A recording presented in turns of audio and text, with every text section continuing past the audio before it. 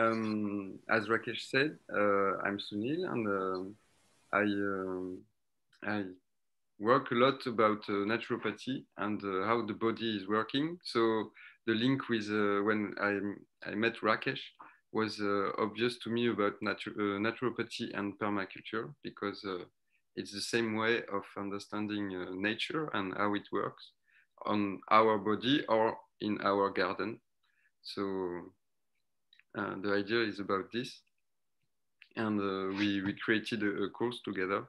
Um, and also we, br we brought in that course uh, some kind of um, tantric medicine, tantric tools from India, so from the yogic culture. And I feel really uh, that it's re a really interesting aspect of it um, because it, it creates with some kind of um, um, work uh, with uh, with symbolism and uh, the way of we work on the mental aspect. It creates uh, stability to the body, and so that's a, a nice uh, nice approach we, we brought into, into the, that course. Um, I would like to know uh, if you have some question about what could be could be permaculture of the body somehow.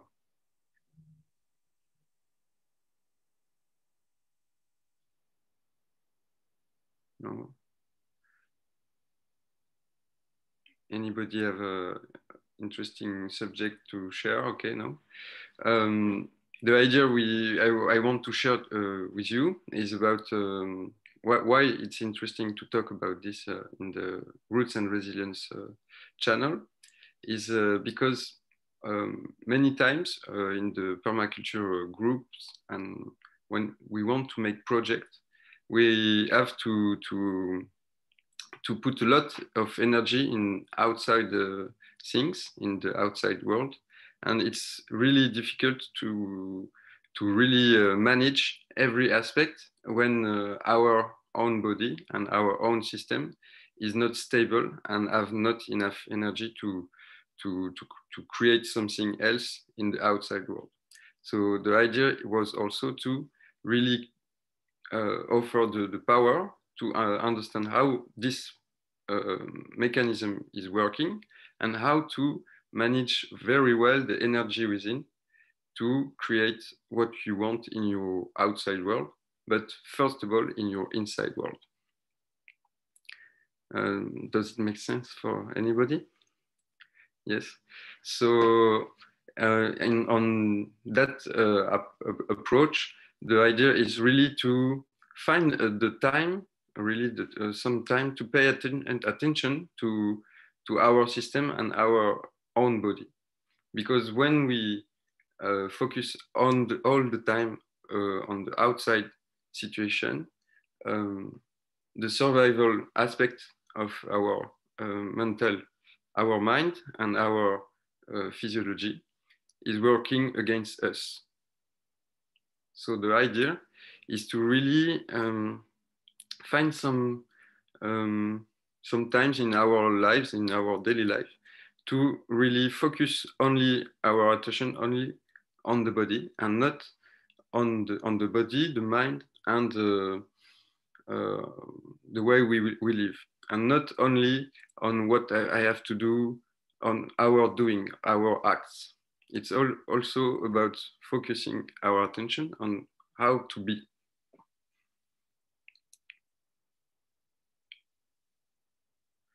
And so um, for that purpose, uh, as Rakesh said, we, we use a, a tool. Uh, mainly, it's the Prama. It's using uh, the triangle as a symbol because the triangle uh, is a symbol of stability.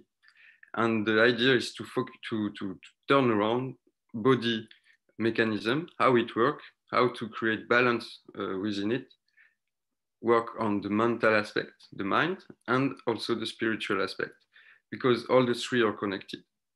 And to approach it, it's also interesting to see it uh, with triangle about exercise.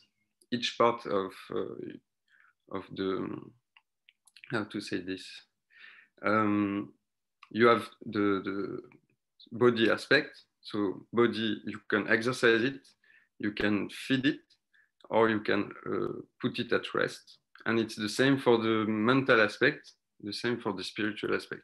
How to feed your spirituality, how to feed your mental, and you have to put it at rest and exercise also it.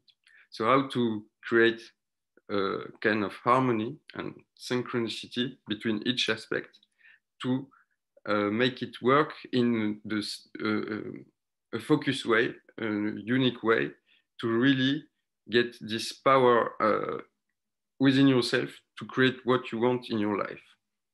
So this is all about the, the life design somehow. So it's why it's interesting to focus also about your aims, your objectives, but the idea is to, to find a way to, to build the strengths to achieve them. Rakesh, uh, you want to, to complete some, you want I talk about some aspect?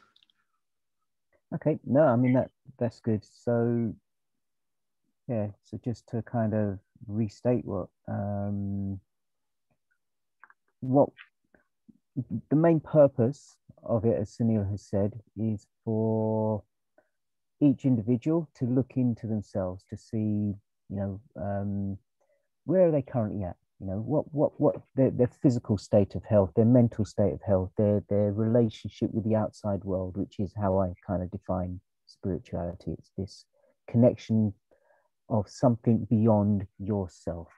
Um, and so, because if any of those is out of sync, you know, if we, so we could be very, very focused on, you know, our physical health, uh, but we're not taking care of our mental health and we're not really having this deep, beautiful connection with the outside world, then this is imbalanced. You know, in this, and so doing this kind of work it's it's about how to yeah how to understand well you know also some people get obsessive about physical health. And that in itself leads to all kinds of mental imbalance as well as the the often overstressing the body. And so that in itself is not good. In that is also unhealthy. So it's the, these tools are really there to help us to understand how do we really find this nice balance. So, you know, so what feeds us, what allows us, you know, so like if you think, think of your body just for this exercise as, a, as some kind of a machine, and the machine needs some kind of a fuel, some kind of, you know, something to keep it going.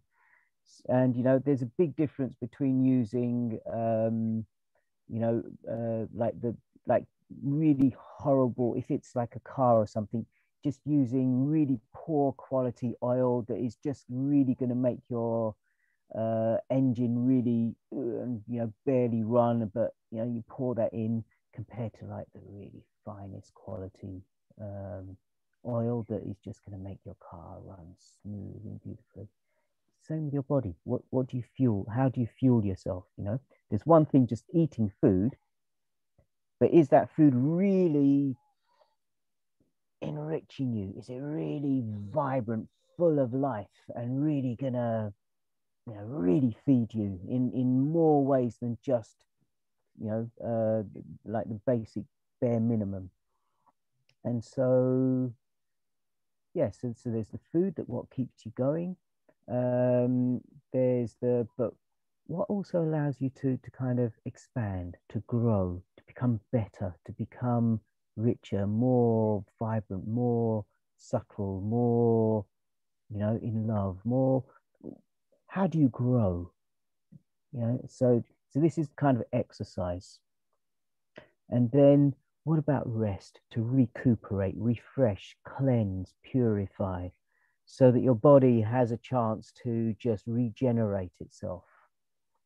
So we look at each of those to see how we can do that using lots of different tools, including naturopathy and various things. But then we do the same for the mental. You know, what feeds us mentally? What exercises us, pushes us, allows us to be, you know, what pushes us, what allows us to grow mentally? And what about um, how do we get our mental rest? exercise, cleansing, purifying, and so on. And then we do the same for spiritual. And then we start to look at, well, what are we doing well already? What is it that we're not doing so well?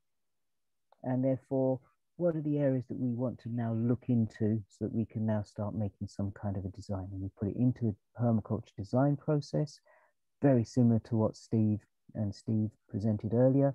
You know, the whole Ikigai is fantastic, beautiful. Um, well, you know, I, I know the, the way that I kind of describe Ikigai is is what is it that wakes you up in the morning that makes you, oh my God, it's Monday morning, great. Ah, yes, this is your Ikigai. This is your Ikigai. This is, you know, what is it that makes you so passionate and so, wow. Why is it that we don't have more of this in our life? You know, what is it that we're doing in our lives that, oh my God, it's Monday morning. Oh, do I really have to get up? You know, can I, yeah, oh, snooze, oh, that snooze button. Oh, another 10 minutes, please, another 10 minutes. Why? Why are we like this? Why isn't it, why isn't it life just like, whoa, yeah, brilliant. So how can we design that in? Yeah, because, yeah, because uh, I want to, to tell that uh, what said Rakesh, that it's not about uh, a lack of willing. Some people are like, often they are like guilty because okay I, am not so motivated this is my my fault uh, my own fault because i'm i'm not really uh, in the move and and the idea is in fact we are responsible of our situation in the sense that we can respond to it. We can find solution because we our way of living is creating what is good for us and what is uh, not working so well for us. So somehow the idea is really to focus on how to find that extra energy, how to build our system to receive and use that energy around us and make it uh, make our life really passionate and and not just healthy but very intense and adventurous i would mm-hmm. say yeah exactly so it's about looking at all the different aspects of life what gives us our sense of purpose. Why are we alive? Why do we exist? What is it that makes us tick? You know, so how do we feed that? How do we nurture that? How do we, you know, design that into our lives so that we feel really fulfilled? That we feel, yeah, there's a this world is a better place for me living here because I'm doing this. I'm creating this in the world. I'm helping people in this way how do we design that into our lives? How do we design, um, you know, yeah, how do we find that balance, that that real joyful balance? And Sunil, I don't know, maybe you want to talk a little bit about the naturopathy side. So what we've been discussing there is more the kind of tantric side and the permaculture side, and the other part is naturopathy. Maybe you want. I think we've got three, four, five minutes left. So maybe... Yeah, it's uh, because the the idea is the that all, um, it's also about the willing. It's not yeah you have not the willing. You're guilty about I don't have this energy. In fact, our body is a, a big uh, chemistry factory, and our mood, how we feel, how we we receive our our sensitivity to different things, uh, our way to to uh, respond quickly or to to even some good events somehow some things we we want to happen in our lives when they happen we are not so happy and are like what is happening within me. Normally I, everything is very well but i don't feel really well inside or any joy. And in fact it's just because the, the chemistry inside the factory is not working so well for many reasons. And there is there are very very easy, easy tools to analyze ourselves how the body is working and uh, our system is uh, if, if it's um, tense or really congested by toxicity we can easily uh, discover it mainly uh, using some uh, iridology tools uh, anal analyzing the iris in the eye because uh, all the body have a nervous response with the, the iris in the eye. and in fact, um, by just analyzing that, it's one tool, but we have many. And by analyzing how your body is functioning, if um, you find where uh, your chemistry factory is not functioning well, you can easily find the, the way to, to, to create a solution for yourself and make this chemistry working better and better. Because mainly problem we have is that we take outside uh, situation to make our body function. So the idea is to change the dynamic, make the body working by its own, and not be compulsive about something external. Could be a product, or it could be a situation. It could be, uh, for example, some people are very uh, addicted to, to sports or high risk situation. It's, it's also a, a body uh, problem. Physio, ah, difficult to say in English. Physiologically, it's a very um, uh, ex existing at that base in the physiology of people, physiology of people, it's existing. For example, people who need risk, they have their adrenals, their glandular system is really down and nervous system is really exhausted. So to make it uh, working for relaxation, they need to rush it uh, very strongly. For example, making uh, some jump from plane or making uh, some uh, very high uh, risk sports to feel some relaxation inside. So they are taking an outside situation to push their body and feel, feel well somehow. The idea is to stop this kind of exciting tools to our body could be that or could be coffee or other things and to build inside the real chemistry we need. So naturopathy is a, is a really good, uh, um, it's, naturopathy is not really a kind of uh, system, but it's just the idea that you understand nature, how it works, and you make it work for yourself.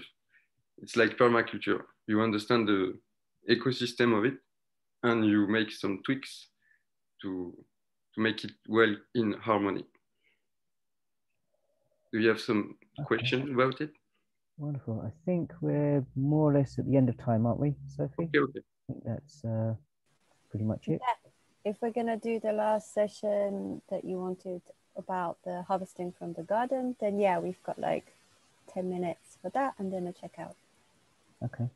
So maybe I can also just quickly share my screen so you can see the uh, yeah, so this is the the promotion for it. So these are the dates. So it starts in May, 15th, 16th, and then 22nd and 23rd of May.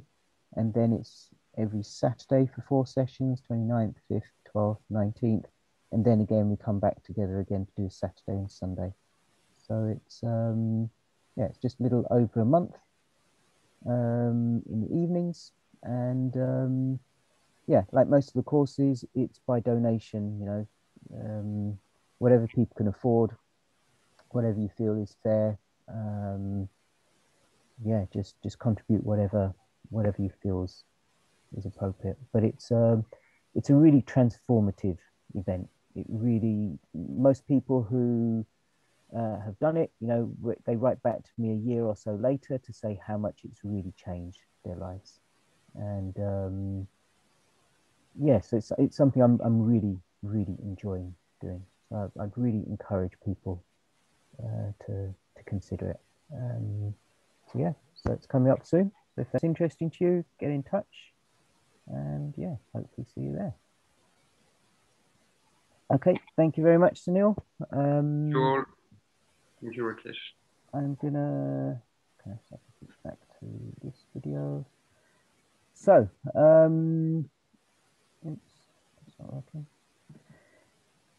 So people were, um, yeah, people were interested to find out, well, what is it that we're eating from our gardens right now? So um, yeah, it'd be nice to hear from each other. what um, obviously we're all from slightly different parts of the world, so maybe there's different things growing in different areas. But it'd be really interesting to find out what um, you know, yeah, what's coming up already. So it's April. It's you know, spring is just sprung, and um, and stuff is just coming up. But yeah, what's in your garden?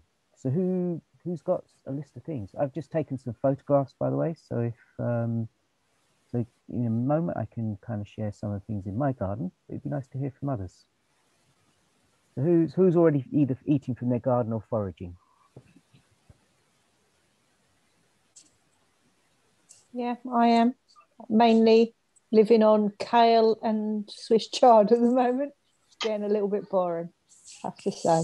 But um, and and and some dandelion, but try not to eat too much dandelion at the moment um, trying to leave the flowers for the bees until I've got some more flowers out. Um, and then I'm going to pick some dandelion flowers and make some stuff. But yeah, it's mainly kale and Swiss chard. okay. What else? Who else has got other things growing in their garden other than kale and Swiss chard? Swiss chard. Hmm. We've got ramsons, chives, oh, kale, um, what's it, the um, Daubenton's and curly kale. So there's all the green stuff at the moment, and as I say, the um, the uh, nettles are only about an inch high at the moment, so I'm looking forward to them. Okay, Sophie, what have you got going? I've got yeah, also a lot of brassicas. They're always quick to come up. So I've got perennial kale, I've got kalettes, which are crazy. They're like giant towers at the moment. Um, you know, kalettes, they like grow up like uh, Brussels sprouts. Um, but instead of being like a closed head, they're like an open head. So they're like all these crazy little cabbages like growing up in a spiral. And they're about as tall as me. And they've been the hardiest thing that survived. Got a lot of that. I've got a lot of um, yeah, like mixed mustard greens. I've got lots of alliums, like lots of wild alliums popping up everywhere. Got lots of melissa. Got lots of um, hedge mustard, which is another brassica. That's all I've like shaken seeds and it's sprouting everywhere. That's really nice. Sorrel, a lot of sorrel everywhere. Yeah like everywhere there's just yeah things for eating. Mm-hmm. and the grass looks so beautiful. I feel like i could just go and like chew on the grass because it's just so beautiful everywhere at the moment. Like so many clovers and dead nettles and wild peas and wild beans. Yeah. Cool. So these photos i took i think yesterday or day before yesterday and I noticed that I, I, missed a few out as well. So there's there's more than just this. So this is um, Allium triquetrum. So you can eat the, the flower, you can eat the, the actual green, uh, you can eat the root, the, the bulb itself. You know, it's um, yeah, it's it's incredibly prolific. This is a uh, a black spearmint. No, black peppermint. That's the one. Black peppermint. So it's a very unusual mint, but really strong. And I mean really strong. It's fantastic. I love it. Um, so these are some brassicas. These are kind of, uh, uh, um, this was a kind of broccoli, I think. And so I'm just literally eating just the like the broccoli heads and you know so right now i'm eating lots and lots of these flowers and um, and heads and things. Yeah, so like like these, which is just really, you know, just eat it like that. You don't need to cook it or anything, just as a salad. Uh, I don't eat it so much, but um, this is comfrey. This is my favorite comfrey because it grows really nice and low to the ground. It's uh, Hidcote blue. So it, you know, you can grow it underneath your trees and things without it uh, really, yeah, taking over too much. Uh, it's a really good one. This is my curly kale that's coming back. Um, fennel, this is feverfew. All right, I'm not really eating it. It's more for medicine. Um, and this again, I I'll eat it occasionally. But, you know, I'll I'll pick whatever I can. So when I'm digging them up, this is green alkanet. I'll eat the uh, the flowers. I'll as I'm digging it up, I just pop the flowers off and just put it aside, and then just add it to to my meal or something. So it's not like it's making a full meal, but it's you know it adds to something. This is uh, cabbage. Uh, so again, I'm eating the um, you know the flowers and the flower buds, which is you know obviously I'm not eating all of them because many of them uh, are attracting insects, but it just keeps producing more and more and more and more. As much as you harvest, it just keeps producing more of them. So you know you can actually eat quite a substantial amount, and it just just keeps coming back. So this is a land cress, really strong. If you like your things nice and peppery, this is fantastic. Land cress. And this is uh, this is the land cress flower as well. Um, Melissa, as Sophie said, which is also come back through again. This is uh, Jack in the Hedge or garlic mustard. Uh, so it's actually yeah, it's not a garlic, it's not in the allium, but it's in the mustard family. Again, very nutritious, very, yeah, very hardy, a real good tough one.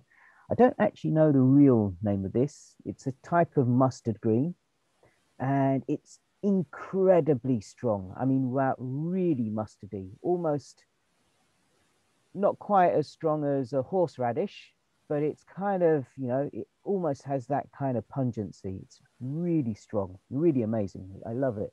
Um, nettles are coming back really strong. Uh, perpetual spinach or chard, whatever you want to call it. These are radishes that I actually grew last year. So I've kept some of the radish, uh, yeah, radishes. So by constantly harvesting and pulling it back, constantly harvesting, constantly harvesting, I've managed to keep, you know, not allowing allow most of them to go to seed because I eat the seeds and the seed pods and the flowers and what have you. But by um, stopping some of them from actually going to seed and going to flower, you can still have more, uh, yeah, more leaves, and they are now flowering as well. So now I've got this. Right now, I'm also eating flowers and blah blah blah from that and uh, uh, seed pods and things. And so this is. Um, Again, another chard, like a rainbow chard. Uh, this is rocket flowers. This doesn't look particularly appetizing at the moment, but um, trust me, they are much nicer than that in some places. Oh, it hasn't rained. It hasn't rained in England for well, in London anyway, for about five six weeks. So some of those are looking a bit funny. This is Sedum spectabile. Again, another one you can add to your salads. This is another type of sorrel a different type of sorrel. And then this is my cabbage. This is my um, Taunton, tea, uh, Taunton Deane kale. Which wow, it's looking lush and huge. It's yeah. I think the largest when no one was here for a couple of years, the largest I saw it get to was about three meters wide by about two two and a half meters tall, and uh, yeah, it really got out of hand. It doesn't grow nice and neat like a walking uh, what's that? A walking, walking stick, stick. Kale yeah. Yeah it just grow it grows wherever it wants to grow. So um so it's a bit bushy it's a bit you know so you have to work hard to kind of keep it into a shape or just let it go to wherever it wants to go and just manage it by constantly eating it. And this you know even in the snow it's still got leaves and you can still be eating it even then so amazing this is a walking onion uh, again, you can eat the bulbs, you can eat the, you know, well, all of it, and it puts little bulb bits on the, the top. And then sometimes it has another shoot and then more little bulbs on top of that. And so when it gets heavy, it kind of falls down and it plants itself somewhere else, hence calling it a walking onion. Um, a really funny one. This is uh, borage, white borage, those of you who are keen-eyed. Um, yeah, which is a, a different variety, and it's uh, well, yeah, it's wonderful. It's just like normal borage. White dead nettles. Mm-hmm. Um, And we're back to the alliums again. So, and I know that I've missed out burdock from there. I've missed out, um, oh, I should have looked up the name, Pet, petioli, uh, ooh, yeah. It's another wild one that just feeds itself and it just, it's just all over the garden kind of thing. Uh, I've obviously missed out things like dandelions. I've missed out the goosegrass. Um, and then for those of you who chickweed. Eat, yeah, there's chickweed there as well. I mean, wow. There's it's so more like much. It's more like what are you not eating from the garden right now, right? It's mm-hmm. like mm-hmm. I literally feel like I could get like a horse and just go and chew the grass because yeah, there's so mm-hmm. many good things. I think everything looks delicious. Yeah, and if you're into teas and things, then you know all your raspberry leaves are coming out and your um, strawberry leaves. Personally, I, am not into tea so much, so I don't really do things like that. But they're there if, if that's what rocks your boat. Um, there's so much food right now, uh, and the reason there is so much food is because many of these are either perennial or they are self seeders that have been, um, actually, no, very few of these are things that are coming back from last year. Most of these are because they were grown last year and I've kept them going through the winter. And, um, and because they're perennial or biannual or self seeders, they're there all year round. You know, I don't have to start them take care of them, pamper them, put them out, and then, oh, they've died because the frost came, and then start again. And don't have to do any of that. It's just outside. Okay, I'm in London, so it's a few degrees warmer than, um, you know, than other parts of England, but not as warm as down in, you know, Cornwall and places. So, um, but yeah, so it's, it's just a case of finding the plants that do this in your region. And as I say, so I've not had a day where I haven't been able to eat something from the garden all year. Even in even when it was snowing, I was still collecting things from the garden. So, and obviously you preserve a lot of stuff. You you know, um, yeah. So even if I haven't collected it, I'm still eating from my garden from what I collected from before. And this is just a small town back garden in London, on the suburbs of London. So really easy. Lovely. So, how are we doing for time? We've got 10 minutes left, so should we go for a checkout if there okay. are no questions? Okay, I'm going to stop, oh, stop broadcasting in that case.